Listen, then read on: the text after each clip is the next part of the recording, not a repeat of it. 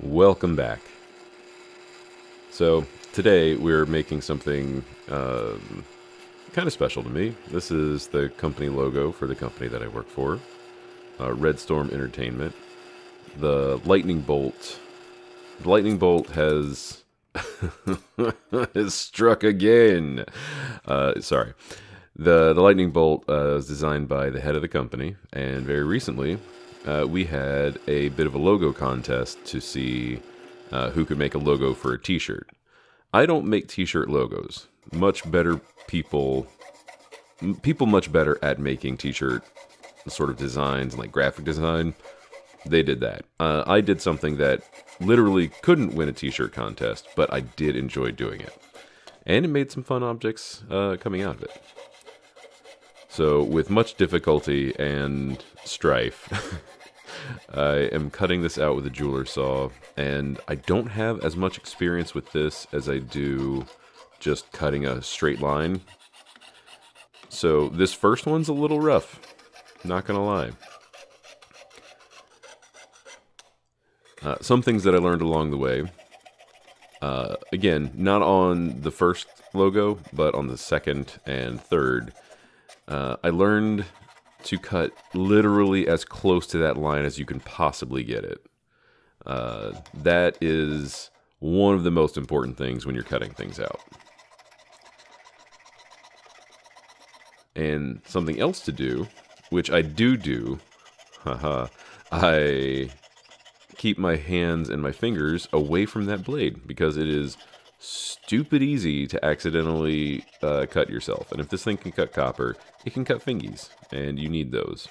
I especially need those because I work for a company that kind of needs me to have hands. Um, so, lots of slapping, lots of cutting later. I do a terrible job and have to do a lot of hand file work, which is fun. I do like hand filing. This is a lot.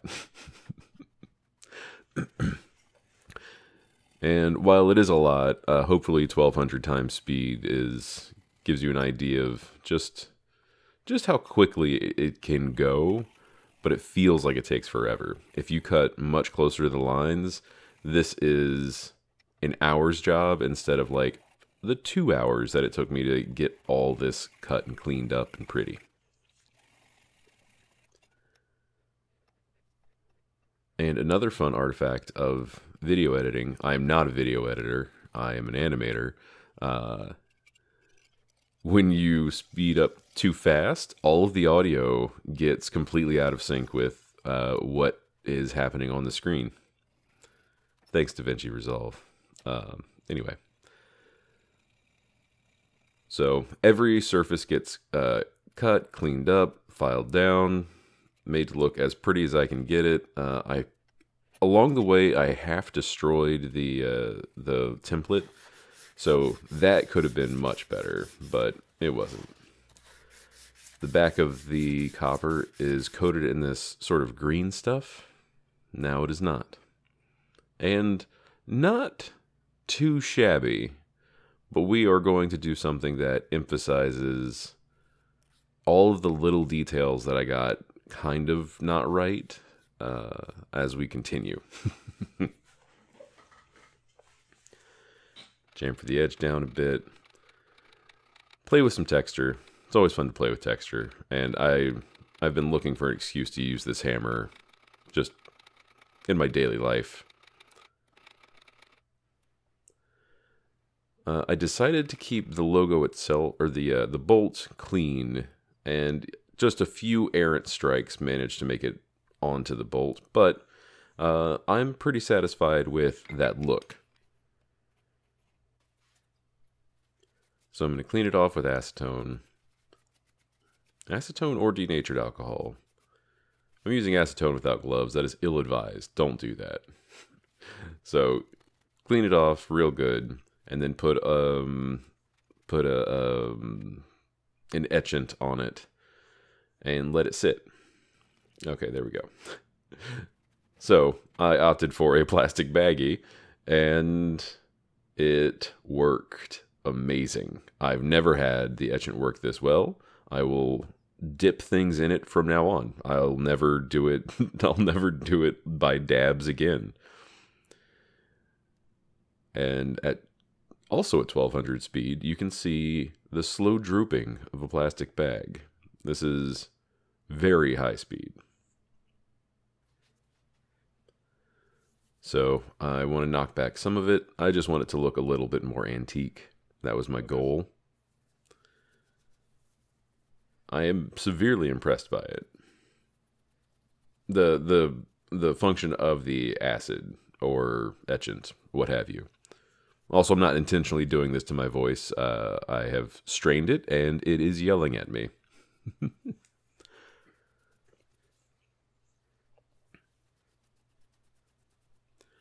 so, just knocking it back with some steel wool. Uh, I, I I like the effect that it gives.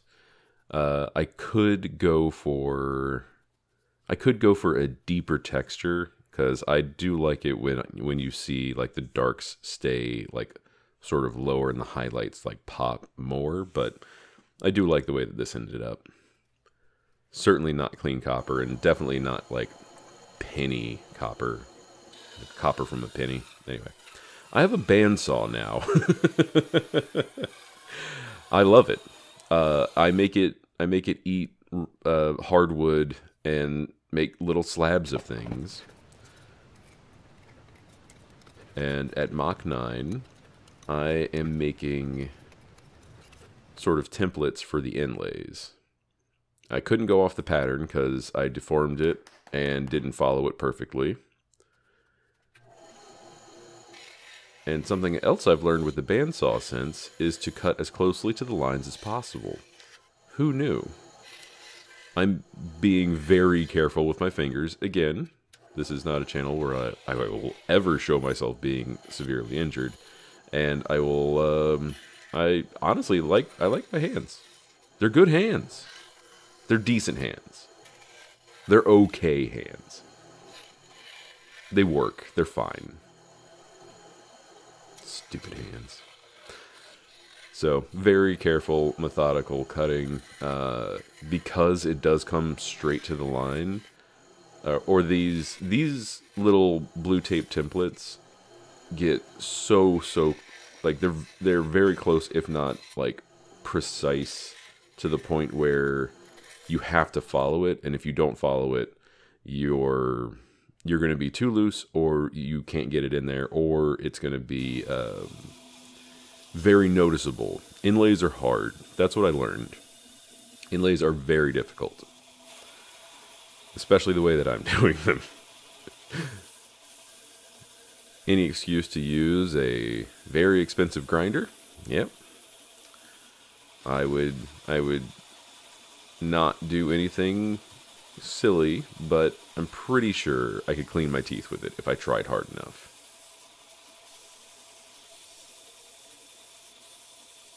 I'm going at low speeds with a relatively high grit belt.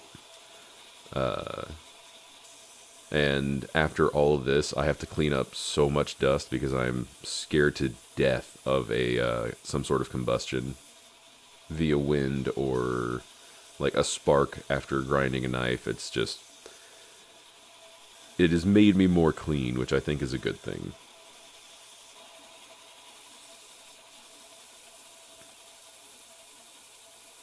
Left all of this in real time, I believe. The, the other option, instead of using a big old grinder, would have been cut very close to the lines and hand file. And I cut out all of the hand filing that I did on this wood because it was a lot. It was a lot, and I don't wish that on any of you.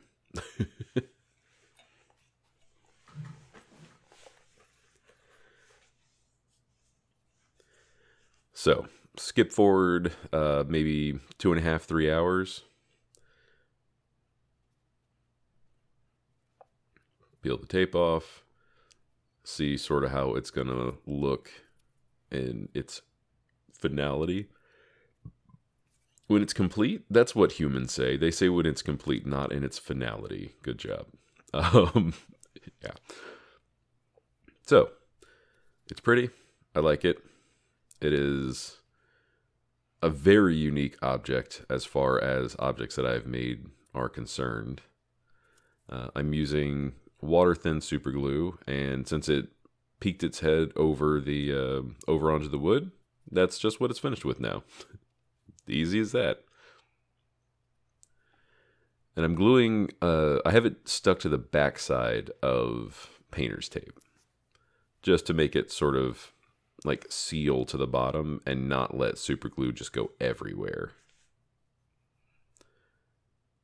Looking pretty good.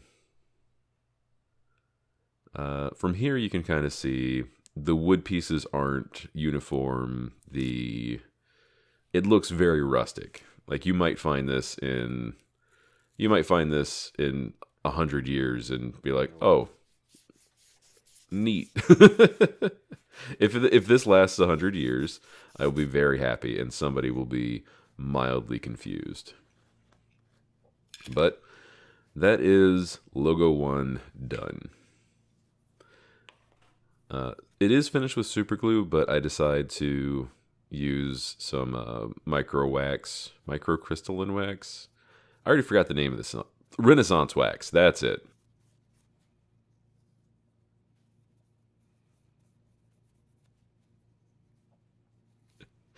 and this is this is to protect the copper and the finish that I have on it, as well as uh, it, it kind of works its way into sc- like really small scratches and evens out the the sort of sheen that it has.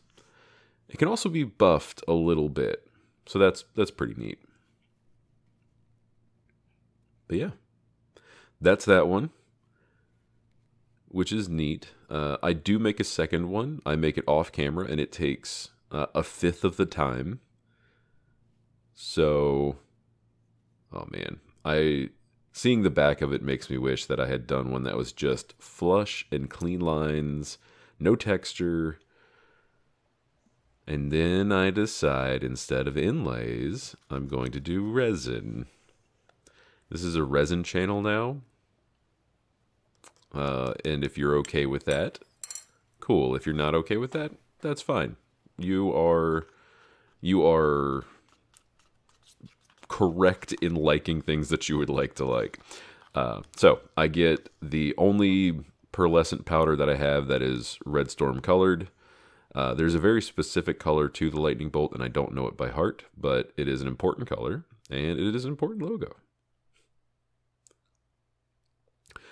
Somebody, not going to name names, forgot to hit record when pouring resin into the logo. Uh, again, not naming names, me, um, forgot. and then I did it again. not yet, but uh, I have a lot of extra resin that I mixed. And honestly, either it's going bad or I mixed it poorly because this is um there's there's a just it's a little soft. It ends up a little soft. Spoilers, I know.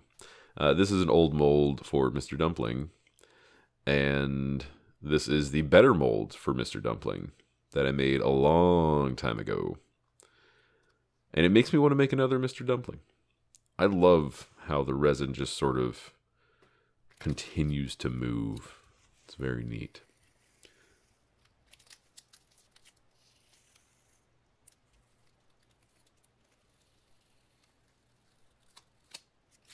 Ta-da! So, it's been about 24 hours. The resin's as cured as it's going to get. It's still a little soft, which is not customary. Uh, but it is hard enough that it's not like, it's not changing shape. It's just a little soft. This little Zelda shield I made for an overpour mold is long past its due. Plenty of bubbles, not worth not worth putting anything into it anymore. And this cutaway mold was designed poorly by me, but it does work. This non cutaway mold is not designed poorly by me. It's as simple as it gets, and I like it. I learned from uh, Radioactive Resin Art that you can just make cool sounding videos of un, uh, taking things out of molds. Who knew? So, uh, on to the logo. Uh, I'm just cleaning up the edges on this thing with the grinder. The grinder is not used again. This all has to be done by hand. And copper is sharp even when you chamfer the edges. So the solution for holding it, because just a very small amount of sanding put just about put a hole in my thumb. So blue painter's tape on the back, blue painter's tape on a board, and now I have a handle with which I can hand sand. I sprayed it with a little activator. And I am wet sanding with, um, it's basically Windex. It's just glass cleaner. Uh, it's not water. So I don't think that water really cares. I think water would have been fine for this. It's just, it was on hand. Uh, but this, this uh, painter's tape and super glue thing, the super glue is only glued to the painter's tape. The adhesive on the painter's tape is just strong enough that that doesn't matter. And when you go to peel and separate them apart, it's not too bad. So I take it up to 3000 grit. just like that. Skipping through as much hand sanding as possible.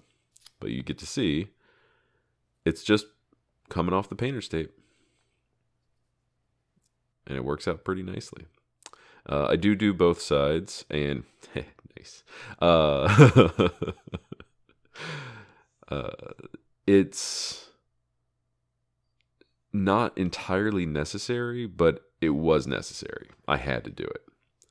One thing that I regret is not filling in those teeny tiny bubbles with super glue before I started this, and also not having a little like tiny nozzle for my super glue because it's um it it is obvious when you use super glue to fill on the resin as it is.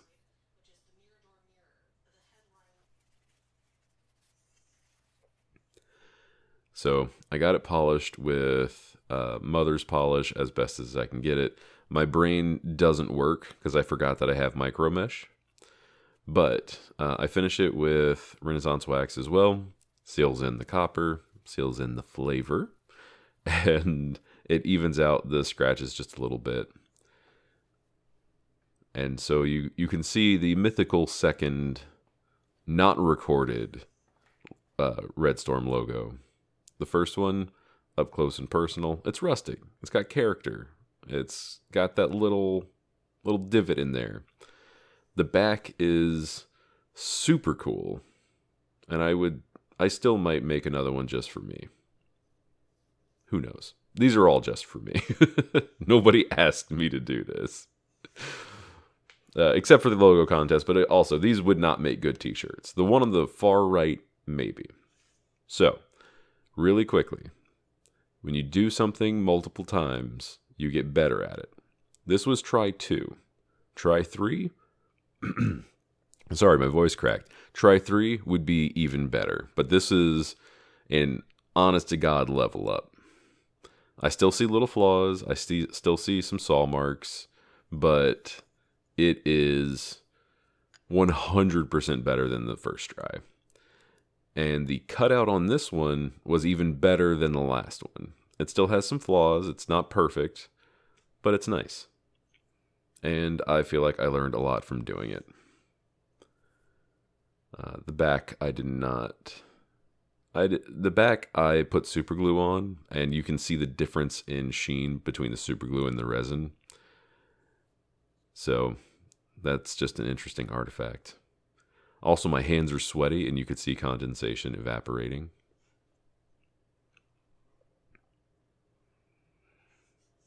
yeah, that is just about it.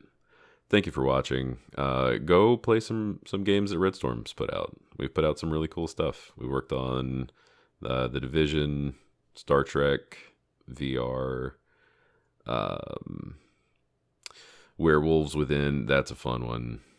Good lord uh, and go all the way back to you know what? Go all the way back to Ghost Recon, Ghost Recon and Rainbow Six. Just do it. this is not an ad. Nobody's paying me. Mr. Dumpling, uh, get me out of here. Thank you for watching. a bye bye. Sanded his butt.